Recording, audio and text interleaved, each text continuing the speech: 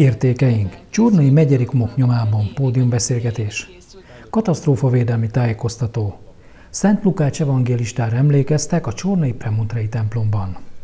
Értékeink. Csornai megyerikumok nyomában. Műsorunkban a pódiumbeszélgetés teljes felvételét láthatják.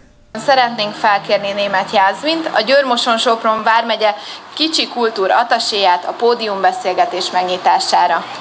Szeretettel köszöntök mindenkit. Nagy örömmel fogadtam el ezt a felhívást, hogy megnyissam ezt a kerekasztal beszélgetést, mivel számomra is nagyon fontos, hogy megőrizzük hagyományainkat és értékeinket. Ezen a Magyarság kicsi nagykövete című versenyen megnyertem ezt a címet, és a Rábaköz kincseivel, például a Rábaközi Pereccel, a fazekassággal és a premontrei apátsággal. Volt lehetőségem a parlamentben találkozni a háznagyasszonyjal, akinek Angyán Csilla egyik alkotását ajándékoztam. Nem sok ország mondhatja el magáról, hogy ezer éves a történetük. Nagyon fontosak a gyökereink, hogy honnan származunk, és mik a szokásaink. Ennek a generációnak a második otthon az a digitális világ, nagyon sokat töltenek online. De fontosnak tartom, hogy az én generációm is megismerje népének történetét és kultúráját, hisz csak így maradhatnak fent például a népi táncok, népi mesterségek, zenék és ételek. Ebben nagyon fontos szerepe van a családnak, az óvodáknak, iskoláknak és a hagyományőrző csoportoknak is. A rábak egy hagyományokban gazdag tájegység, melynek több kincse is bekerült a megyerikumok közé. Ilyen például a csornai viselet, a csornai fazekasság, a premontrei apátság és a pántlika névtánc együttes. Bízom benne, hogy a megyerikomok közé még sok ilyen érték is bekerül, és fennmarad az utókor számára.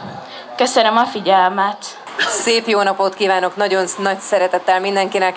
Én Pálfalvi Potyondi Nóra vagyok, és engedjék meg, hogy bemutassam most Jászmin felvezetője után beszélgető társaimat, Boldvai Márton Bertalan, Bertalan atyát, a Csornai Premontrei apátság perjelét elsősorban. Kérek szépen neki egy tapsot, ha már eljöttek és meghallgatnak minket. Köszönöm!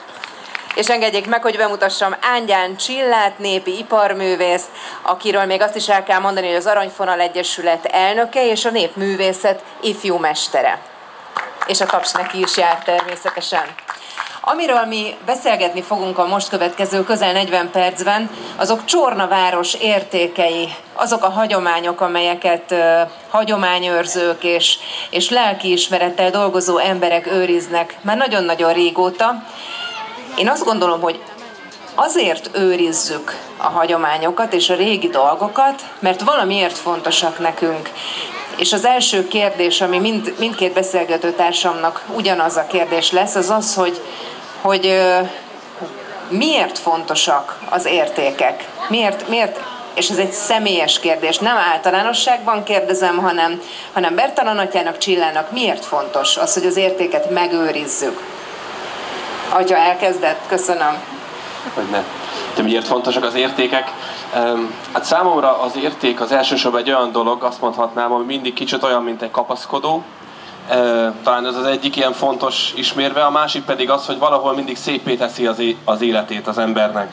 Tehát szokták azt mondani, hogy a, az értékes dolog az, amire az ember egyrészt vigyáz, és talán próbálja is továbbadni és hál' Istennek nekünk azért itt a Rába közben elég sok olyan dolog van, amire próbálunk vigyázni is, meg próbáljuk továbbadni is, de, de számomra talán ez a két legfontosabb ilyen kifejezés az értékkel kapcsolatban.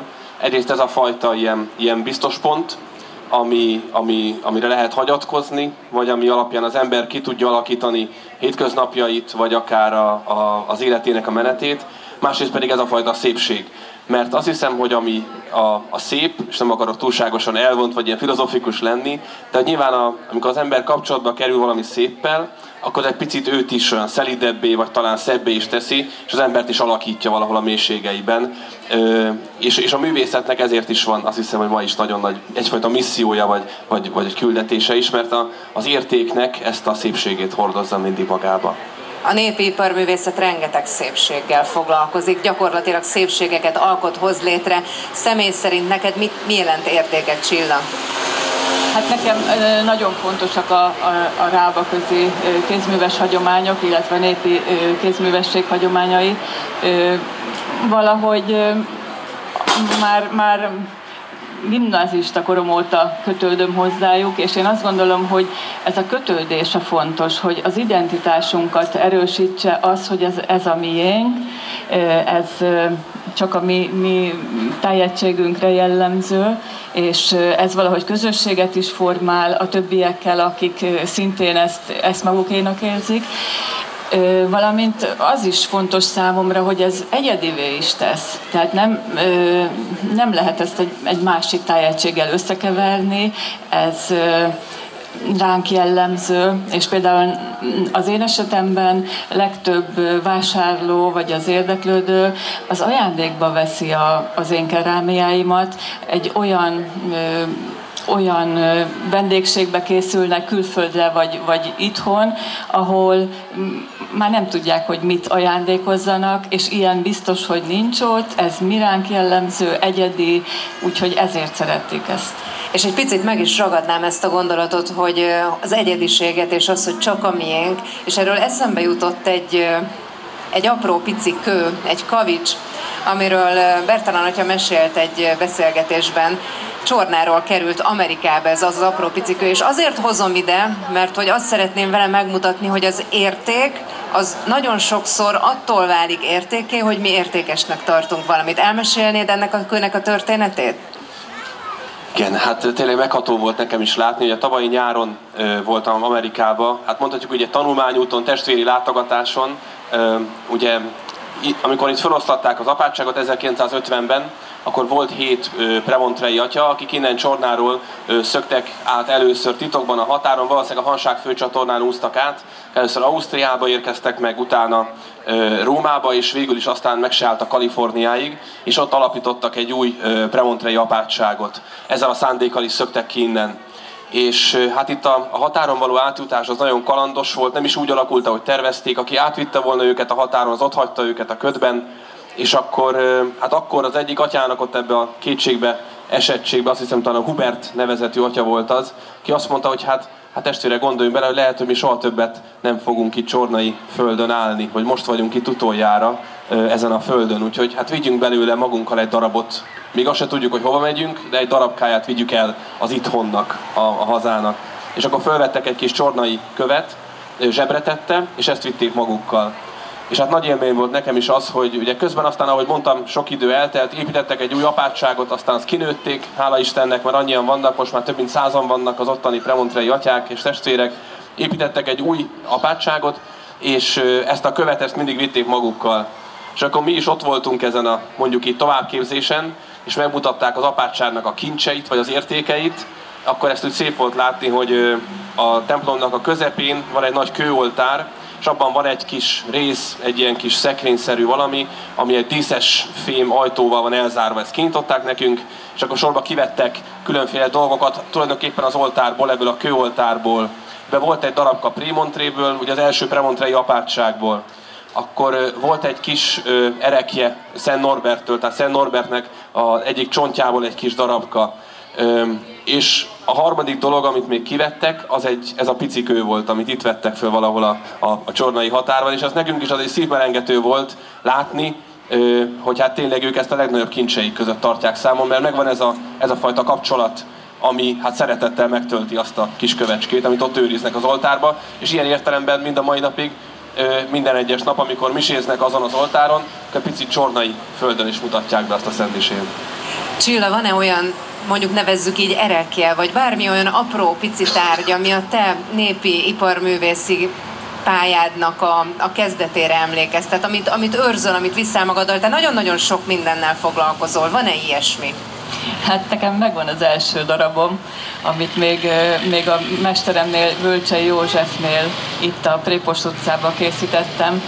Ő még teljesen más módszerekkel dolgozott, mint a mai fazekasok. Földbe vált korong, koronggal dolgoztunk, fás kemencébe égettünk. Egy évben kétszer volt égetés összesen, mert ez egy hatalmas kemence volt, és abban össze kellett várni a, a megfelelő árumennyiséget. És én sokat jártam hozzá gyakorolni, és akkor egy fél év után kaptam egy kis dobozka kerámiát, amit ő kiégetett, az első munkáimat, és ebből egy, egy darabom van, amit azóta is őrzök, a többit ajándékoztam barátoknak, úgyhogy ez, hát ez szívet melengető, pedig olyan kis csálé, meg kis kezdetleges, de mégiscsak onnan indult több nagyon fontos alap, alapértéket kimondtunk már, a közösség kovácsoló erejét, az értékek közösség kovácsoló erejét, a hagyományok átörökítésének a, a lehetőségét. És egy pillanatra szeretnék visszakanyarodni most német Jászmin bevezetőjéhez, aki szerintem nagyon-nagyon szépen, nagyon-nagyon fontos irányból fogta meg a mai beszélgetésünk témáját, hiszen ha nincs ifjúság, nincs valaki, akinek átadhatjuk az értékeinket, akkor gyakorlatilag az értékeink el fognak veszni. Ki mit tesz azért, hogy az ifjúság megkapja azokat a tudásokat, azokat az értékeket, amiket fontosnak tartunk. A premontrejekről tudni kell, hogy nagyon fontos náluk a tanítás, de mégis hogy történik mindez? Az értékek átmenekítése, vagy tovább a örökítése? Egy történet jut eszembe egyszer egy forgatócsoport jött ide az apátságba, és hát nyilván nem nagyon, az látszott, hogy nem nagyon voltak képen mondjuk azzal, hogy, hogy nekünk egyrészt mi a feladatunk, vagy, vagy, vagy mit csinálunk, vagy, vagy mi a küldetésünk, mit is jelent akár mondjuk papnak, vagy plébánosnak is lenni. És érdekes volt ezt így látni, és akkor hát nyilván felvettek mindent, mi is, hogy elmeséltük a berendezéseket, hogy vannak, mint vannak, és akkor a végén föltette azt a kérdést, hogy hát akkor tehát akkor tulajdonképpen ti mit csináltok? Hát akkor nektek az a feladatotok, hogy ezt, ami itt van, ezt itt megőrzitek?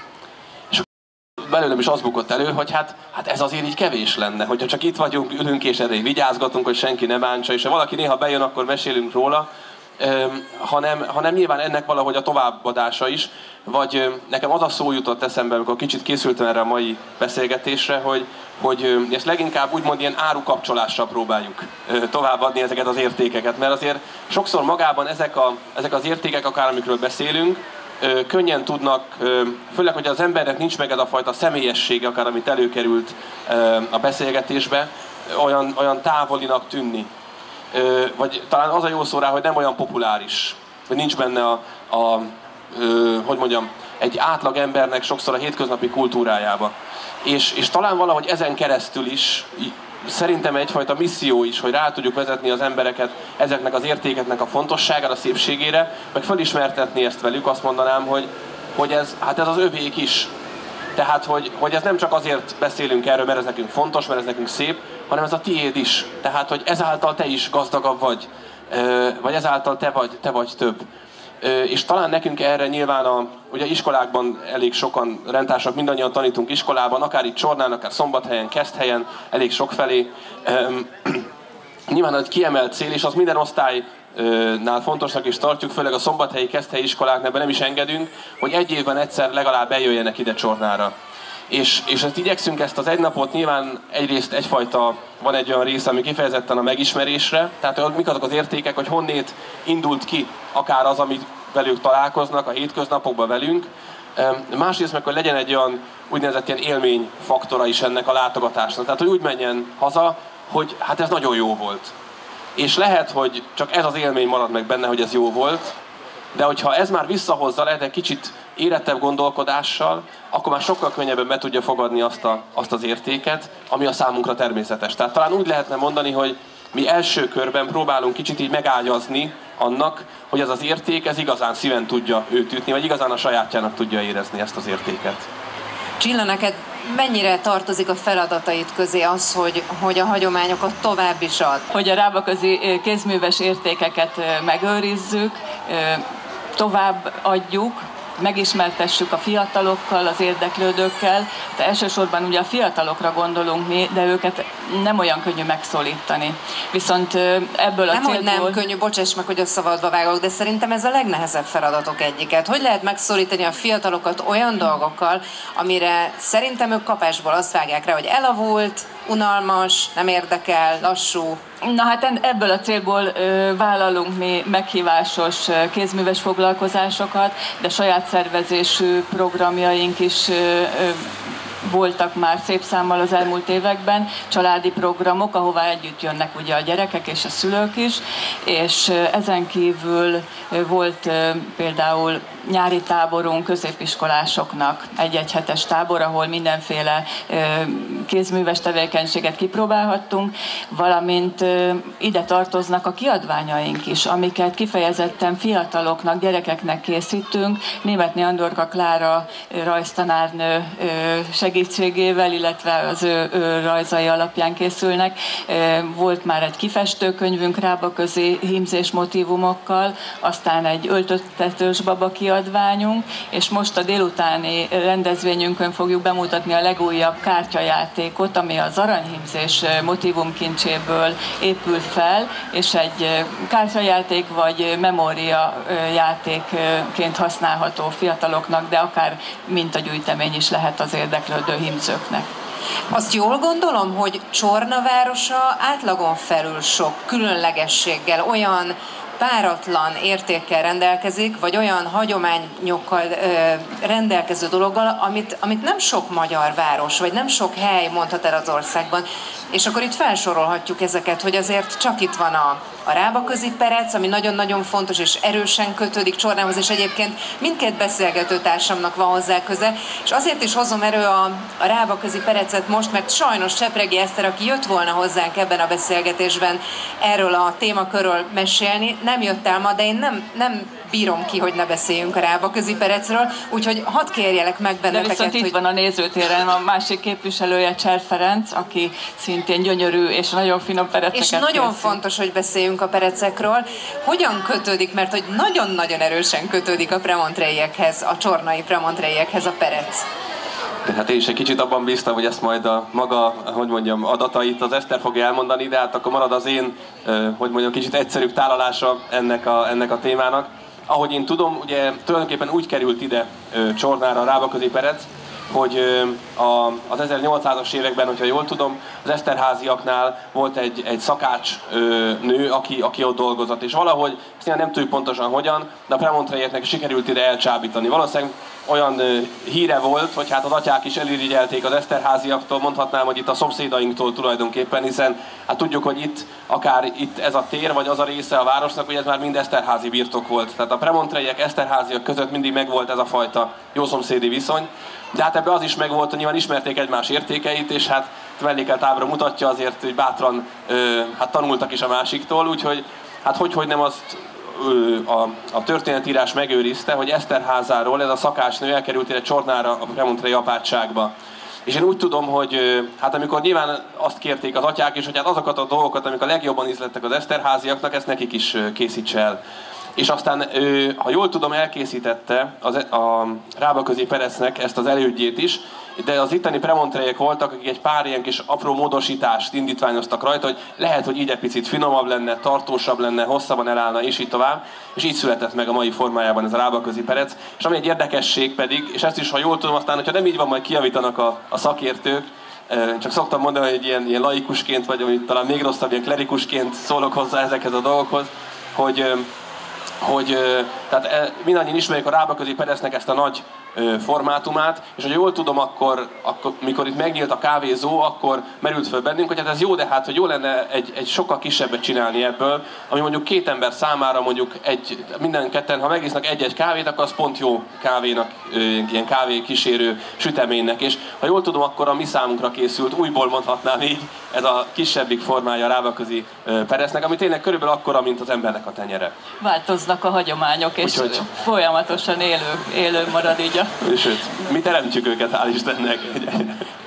De minden, mindenképpen nagyon-nagyon jó dolog az, hogy, hogy nem hagyták elveszni. Én egy picit utána olvastam a Perez történetének, több vérfagyasztó pillanat volt, amikor majdnem elveszett a perecnek a receptje. Igen, különben csak így lehet tovább éltetni a hagyományt, hogy van olyan személy, aki tovább folytatja, aki készíti, aki csinálja és továbbadja, és nem szakad meg ez a láncolat, mert ha megszakad, utána már nagyon nehéz azt visszatanulni, amit, amit egyszer elfelejtettünk. Akik a perecet készítik, ők is a kézművesek közé tartoznak, tehát abba a fórumba ők is betagozódnak. Igen, igen, ja, igen, a kézműves egyesületnek ők is tagjai. Mi, miért fontos a kézművesek számára, akik többnyire nagyon régi hagyományokat őriznek, tartanak meg vasmarokkal, hogy nehogy elveszten. Miért fontos az, hogy kommunikálhassanak egymással? Hogyan tudják segíteni akár ezt a meg, meg, megmentő, megtartó munkát? Talán így könnyebben ránk találnak az, az érdeklődők, hogyha ugye egy, egy egyesületbe tömörülünk, könnyebben találunk mi is olyan formát, ahol megmutatkozhatunk, ahol továbbadhatjuk. Egyenként ez, ez sokkal nehezebb lenne. Nézzük meg egy picit most azt, amit végül is érintettünk már, hogy én azt tudom, hogy Bertalan atya kifejezetten foglalkozik azzal, hogyha valaki belép a rendbe, akkor, akkor ez, az, ez az ő szakterülete, hogy, hogy ő, őket felkarolja, őket, őket az útjukon elindítsa és vezesse de ahhoz, hogy a, az ifjúságról beszélünk most, ahhoz, hogy az ifjúsághoz lehessen szólni, ahhoz, ahhoz nem, nem élhetünk a múltban, ahhoz gyakorlatilag a minden nap a mában kell létezni, és amikor hagyományokról beszélünk, ez olyan nehéz, olyan, mintha eleve kizárná magát, holott én tudom a szívem mély, hogy ez nincs így, tehát a hagyományok nem azt jelentik, hogy a múltban élünk, hanem a hagyományok azt jelentik, hogy a, a mai nyelv szerint, a mai elvárások szerint ö, tálaljuk ezeket a dolgokat bocsánat, egyetlen egy félmondat. Nagyon szeretem azt, ahogy atya beszél, ahogy használja a mai nyelvet, ahogy nem úgy beszél, mint ahogy egy atyától ez elvárható, hanem a mai szlenget használja. Ez szerintem például egy módszer lehet, de mi még? Mi az, ami még segít ebben, hogy szóljunk a fiatalokhoz? Igen. Én egy kicsit ilyen nulladik pontnak mondanám a, a megszólíthatóságot. Tehát, hogy mert, mert hiába akarok én hozzászólni, hogyha ő nem akarja azt, hogy én hozzászóljak. Tehát, hogyha ha ő, hogy mondjam, tehát, hogy úgy van ebben a helyzetben, hogy én meg akarnám szólni, hogy mondanék neki valamit, de hogyha ha benne az van, hogy inkább ne is mondjak semmit, akkor teljesen mindegy, mit fogok neki mondani. És ennek ezért is talán ez a nulladik lépcsőfok, ez a fajta megszólíthatóság, ami, ami hát nem egyszerű. Nyilván az a mondat jut ilyenkor mindig eszembe, ami a, a, a, az apátságnak a, a díszlépcsőházában is föl van festve, hogy a, hogy a kapunk tárva, a szívünk inkább. Tehát, hogy valahogy ezt a fajta befogadó lelkületet megéreztetni, ez talán az első, és nyilván ehhez kellenek a különféle, akár azt mondhatnám, hogy technikai eszközök. Tehát nekünk az apátságról is két olyan applikáció is készült, ami ingyenesen letölthető, akár az interneten, tehát bárki rákeresett, bárki megtalálhatja, hogy kicsit látja azt, hogy, hogy mivel találkozik, hogyha eljön ide közénk. Hogy mik azok az értékeink, amikre mi szeretnénk felhívni a figyelmet.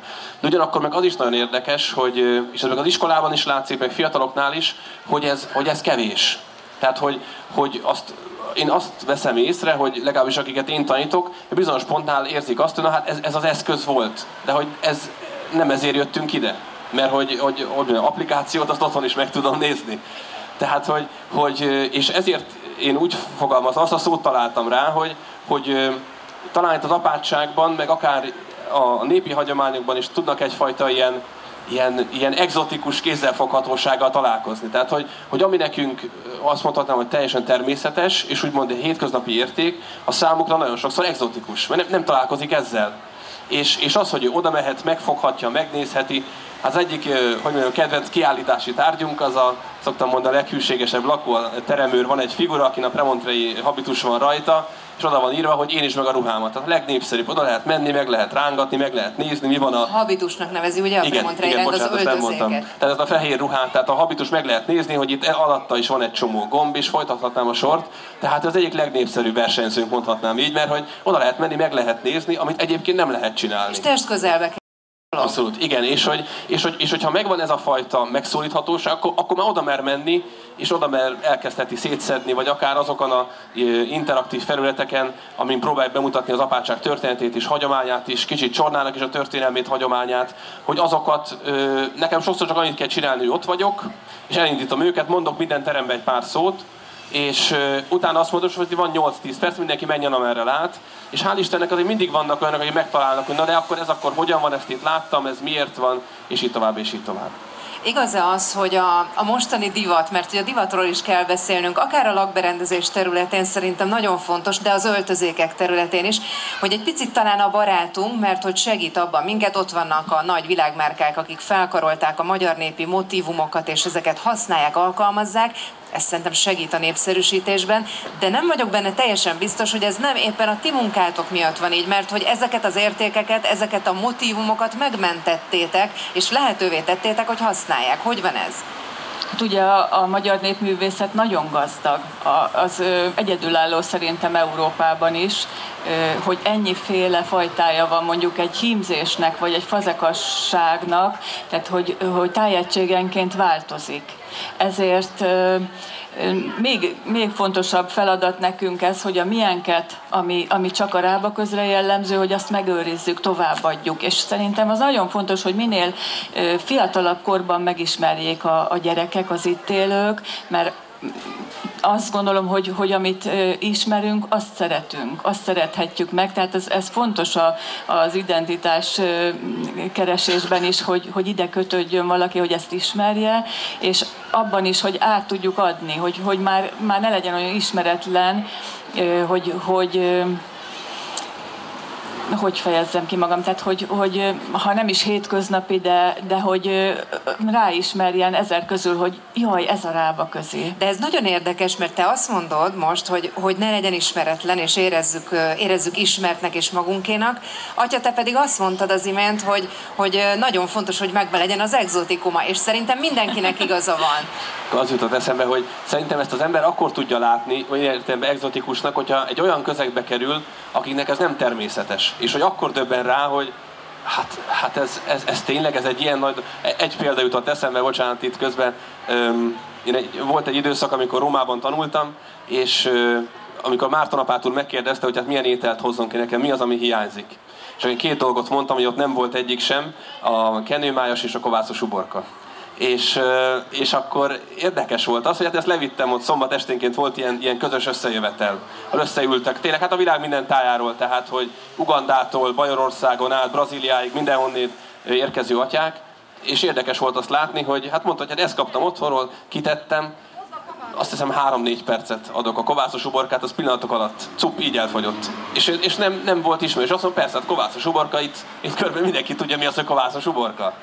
De hogy azóta én is ránéztem, hogy hát akkor, akkor ez tényleg egy olyan dolog, ami nekünk teljesen természetes, ott van benne az érték, de ahhoz az ember, hogy kicsit, amikor kilépett ebből a közegből, és látta, hogy ezek mit szóltak hozzá, amikor találkoztak ezzel, az egy nagyon megerősítő tud lenni, hogy ami nekem otthonos, az mégis micsoda exotikus érték tud lenni egy másik ember számára, aki, aki nagyon vevő arra, ami hát, amit én is szeretek.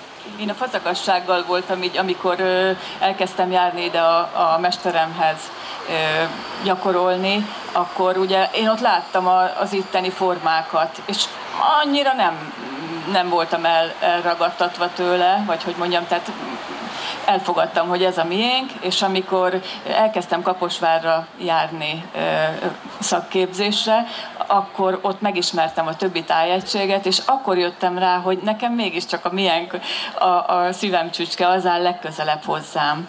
Mert hogy valahogy végül mégiscsak beivódik ez az embernek a lelkébe, a lelkének, lelkében is nyomot hagy. És, igen, és igen, ott... igen, és ezért fontos talán ez a divat is, amit mondtál az előbb, hogy a mai, mai viseletekbe is be lehet integrálni, vagy, vagy lehet alkalmazni ezeket a motivumokat, és ezáltal nagyon fontos, hogy, hogy akkor tovább éljen, hogy Mik azok a legyen. csatornák? Bertalan atya mondta, hogy van applikáció, ami, ami egyébként szerintem van némi anakronizmus benne, ahogy, a, ahogy egy apátság és egy applikáció azon kívül, hogy A betűvel kezdődik, tehát hogy nagyon nehezen kapcsolódik össze. Neked kell Éveseknél nehéz ügy ez, nem szerintem. De nem vagyok benne biztos, hogy nem tudtok jelen lenni a közösségi médiában, biztos jelen Természetesen vagytok. igen, de az, az nagy kihívás. Az az egyik nagy kihívás, de van több is. nagy nagy, nagy kihívások vannak még a kézműves mesterség folytatásában. Például ez, a, ez, hogy a hagyományt úgy őrizzük, hogy az tényleg méltó legyen, hogy ne változtassunk annyit rajta, hogy az már nem vállalható, de mégis illő legyen a mai lakáskultúrában, meg a mai használhatóság legyen az elsődleges. De én azt gondolom, hogy például régi fazekasok is úgy dolgoztak, mondjuk száz évvel ezelőtt, hogy az akkori igények szerint készültek a, a termékeik. Tehát a, meg, megmondta a vásárló, hogy ő hogy szeretné, és akkor azt ahhoz igazították. Tehát a, ma is figyelembe kell ezt vennünk mindenképpen. Említettem már, hogy engem lenyűgöz az, hogy egy, egy csorna méretű városnak mennyi ilyen nagyon-nagyon említésre méltó értéke van. Egy picit még arról is beszélgessünk, hogy, hogy mindaz, amivel ti foglalkoztok, mindaz, amiért dolgoztok, az hogyan építi ennek a városnak a közösségét? Tehát hogyan tudtok jelen lenni az itteni emberek hétköznapjaiban? Hát igyekszünk nagyon jó programokat szervezni, és szerencsére nagyon vevők rá az itteniek, szeretettel látogatják a rendezvényeinket. Sajnos a kézműves társadalom kicsit öregszik. Egyre, egyre fogy a csapat, és nehéz a fiatalokat úgy bevonni, hogy, hogy főállásban mondjuk csinálják ezt, de bizakodunk azért, hogy, hogy lesz folytatás. A továbbörökítés mennyire nehéz? Tehát azt gondolom, hogy a premontréiek nagyon jól működnek, és szerencsére azt lehet hallani, olvasni, és mindenhol látni, hogy még Amerikában is óriási nagy vonzása van a rendnek. Nincsenek akkor utódlási, vagy ilyen továbbörökítési nehézségek ezek szerint? Érdekes, mert azt mondhatnám, hogy ez is valamilyen szempontból nagyon kultúra specifikus. Tehát vannak olyan időszakok vagy, vagy, vagy korszakok, amikor, hogy mondjam, nem mindig könnyű megtalálni, vagy hogy mondjam, nem mindig könnyű az embernek rátenni a, az ujját mondjuk a kornak az ütőerére. Tehát most én azt látom, például az amerikai rendtársaink, ők, ők, ők nagyon megtalálták azt, hogy mi az, ahogy el lehet érni az embereket ott azon a vidéken. Sokat lehet Gondolom nagyon más, mint itthon, ugye? Nagyon, tehát nem, igen, nem tehát, biztos, hogy, én, párhuzamokat érdemes is Igen, lehet. tehát hogy, hogy biztos, és a, ami a szép benne nyilván, hogy ugyanazok az értékek, amik nekünk értékek, nekik is értékek. De hogyha én ezzel a módszerrel próbálnám itt elmondani, az valószínűleg furcsa lenne az itteni embereknek. Tehát, hogy, hogy, és hogyha az ember ott van közöttük, akkor látja azt, hogy itt nagyon, nagyon más rugóra jár sokszor vagyunk, és nekünk az egy nagy öröm, hogy ők ott azt megtalálták abban a társadalmi közegben, ami nyilván nagyon más a miénktől, vagy a, vagy a, a miénkhez hasonlítva, de hogy mégis megtalálták azt a fajta módot, hogy hogyan tudják legjobban lefordítani mondjuk akár nyilván a hitnek vagy a, vagy a premontrei szerzetességnek az értékeit. Én azt látom, hogy most nekünk egy picit talán nehezebb dolgunk van itt most ebben, bár nyilván nem panaszkodom, mert ezt szoktam mondani, hogy a, hogy a közösségben én már a, a, a közösség idősebb feléhez tartozom, tehát én már középkorú vagyok a rendben. Azért ez egy nagyon-nagyon szerencsés dolog, ha egy rend elmondhatja, Igen. hogy egy ilyen, ilyen erőben lévő atya a középmezőnyben van. Ez nagyon igen, jó dolog, úgy, ez azt jelenti, hogy nagyon fiatal a társaság. Igen, igen, tehát hogy a, most közöldünk, ugye, a, talán lehet mondani, hogy az nem olyan nagy titok, ugye, aki a második legidősebb közülünk, a Márton apát úr, ő időn volt 50 éves éves. Tehát, hogy a, a, és egy idősebb atya van, aki 50, 55 éves az idén, de a, a többiek mind fiatalabbak vagyunk náluk. Tehát, hogy, hogy bizonyos értelemben egy aránylag fiatal közösség vagyunk, viszont az is látszik, hogy, hogy az sem könnyű, hogy valaki mondjuk megtalálja az útját a szerzetes közösségbe. És ennek az oka azt hiszem talán nem is az ismeretnek a hiánya, nyilván nagyon sok, nagyon sok oka van, és nem, nem is akarok ebbe most én belemenni, de, de én azt hiszem, hogy, hogy a, a legtöbb, amit tenni tudunk, az az, hogy, hogy nyilván egyre próbálunk hitelesen élni, meg hogyha ezzel a nyelven mondva ilyen értékközpontúan élni, és ami nagyon megmaradt bennem egy ilyen gondolat ezzel kapcsolatban, pont ugyanezen az amerikai továbbképzésen került ez elő, hogy ott föltette pont egy francia apátságnak a, a, az előjáró egyet, hogyan van ez, mert hogy ott mondták, hogy hát annyit imádkozunk, nyilván hivatásokért próbálunk hitelesen élni, hogy hogyan van, vagy mint van. És az előadó, egy, egy pszichiáter volt egyébként, ő azt mondta, hogy de hát, hát kedves, hogyha miért gondolod azt, hogy azok az imádságok, amiket elmondasz Franciaországban, azok, azok ott Franciaországban hozzák meg a gyümölcsüket. Hát lehet, hogy mi azért vagyunk most itt ennyien, ugye most a tavaly 40-en vannak képzésben jelenleg, tehát akik még nincsenek felszentelve, de készülnek papságra, 40 kispap, hogy hát higgyük, az, mi merjük azt elhinni, talán így fogalmazott, hogy, hogy az, amit mi itt imádkozunk, meg tesszük a dolgunkat, az a gyümölcsét lehet, hogy ott is meghozza. ha már az ismertségről beszélünk, akkor nyilván nagyon evidens, itt mindenki ismeri Csornán, de hogyan kapcsolódik az apátság bele a város életébe? Mik azok a pontok, ahol, ahol együtt dobognak? Hát, ha nagy képű akarnék le, azt mondom, mindenhol, mindenhol ott vagyunk. Tehát, hogy, hogy tényleg a, ami ilyen, ilyen, ilyen tipikus, ezt, ezt szoktam még is sokszor mondani, hogy ugye én, én a hétnek az első felét szerda délutánig én szombathelyen töltöm, ott tanítok iskolába, de ott megtartom az utolsó órámat, azt hiszem a 12. B-osztályban, aztán másnap reggel csornán itt a, általában az óvodába szoktam kezdeni 9 órakor, utána pedig sokszor az idősek otthonába megyek át. Tehát, hogy, hogy egy nagyon széles hogy mondja, pályán mozgunk itt, azt hiszem mindannyian, de ugyanekkor például a, a János Atya közülünk a Széchenyi iskolába tanít matematikát, ugye a matematika szakos is, a páltestvér, ő is az idősek otthonában, a parkban van sokat jelen, az iskolában, tehát tényleg azt mondhatnám, hogy, hogy gyakorlatilag a Márton apától úgy szokta ezt megfogalmazni, hogy, hogy bármi történik Csornán, mi ott vagyunk. E, ezt, ezt törekszünk valahogy meg is őrizni, már csak azért is, mert nyilván a premontrejeknek az egyik sajátossága, mondhatnám ez a helyhez kötöttség.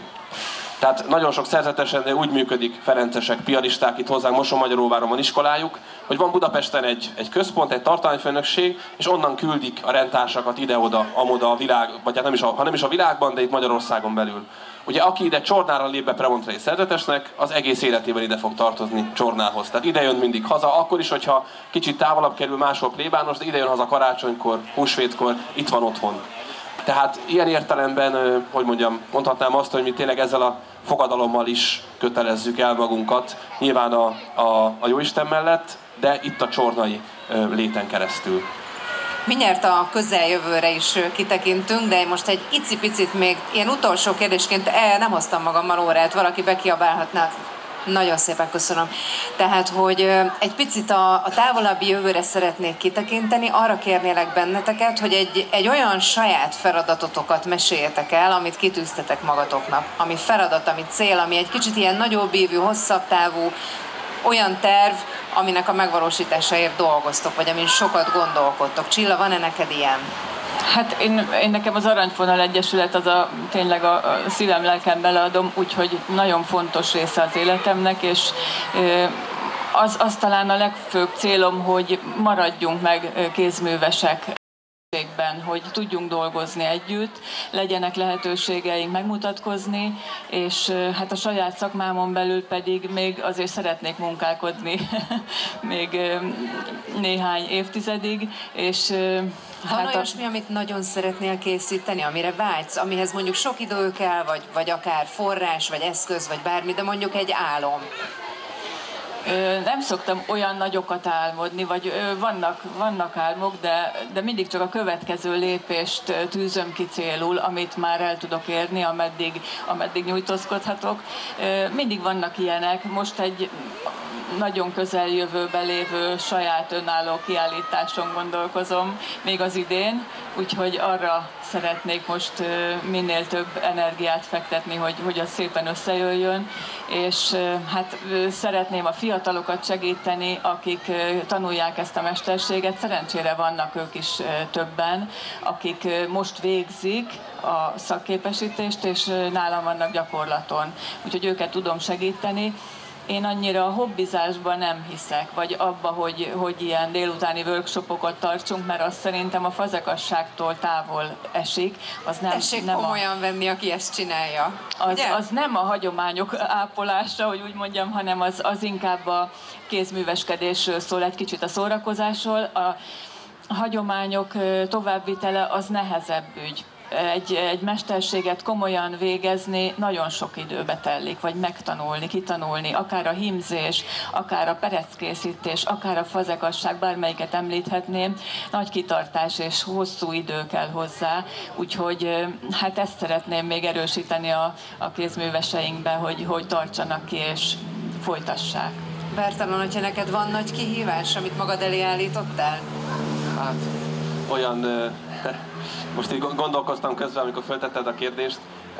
Nekem az jutott eszembe így, így első körben, hogy, hogy, hogy pont ebből, ebből kifolyólag, hogy, hogy elég sok felé vagyunk. Tehát úgy fogalmaznám meg, hogy amilyen személyes cél, vagy lehet talán így ezt, ezt megfogalmazni, hogy, hogy, hogy, hogy minél jobban jelen lenni Tehát, hogy, hogy minél elérhetőbb tudjon lenni az ember hogy amikor tényleg valakinek akár szüksége van rám, vagy ránk premontraiekre, akkor mindig legyen ott olyan valaki, akivel tud jó szívvel találkozni, bármilyen, hogy mondjam, kérésével, kérdésével. Ez nagyon nagy vállalás azért. Tehát ez nagyon, nagyon könnyűnek tűnik, de borzasztó nehéz, óriási dolog. Igen, tehát hogy, hogy, hogy ez a fajta elérhetőség, és én azért egy picit bízom, hogyha kicsit konkretizálni akarnám, akkor én azért bízom abban, hogy, hogy és ez nyilván nem, nem a reklám helye, de nem tudom máshogy mondani. Szerintem hogyha... belefér itt Tehát, hogy, hogy remélhetőleg azért záros határidőn belül, ha nem is az idei évben, bár reméljük a legjobbakat, de ott, ami régen volt a Premontrei kávézó étterem, annak a helyén, ami nyílik egy ilyen Premontrei pub-szerű vendéglátóipari egység, ami kicsit lesz söröző is, kicsit cukrászda is lesz, tehát egy ilyen nagyon több, több, több rétegű vendéglátóhely, hogy az azt hiszem, hogy egy nagyon jó helyszín lesz egy ilyen. Csak egy nagyon egyszerű példát mondjak, hogy akár mondjuk egy, egy vasárnap esti szentmise után, aki egy kicsit szeretne ott maradni, beszélgetni, akkor nem ott kint kell állnia az erkély alatt és bízni abban, hogy nem ázik el, hanem egy ajtóval odébb megy, le tud ülni picit, és emberi keretek között is tudunk akár velünk is, meg nyilván egymással is találkozni. Tehát, hogy, hogy ez, ez a jelenlét a számra ezt is jelenti, hogy, hogy ennek teret ö, ö, teremteni, az emberek egymással is tudjanak találkozni, és hogy azok valahol tudjanak ilyen minőségi találkozások is lenni.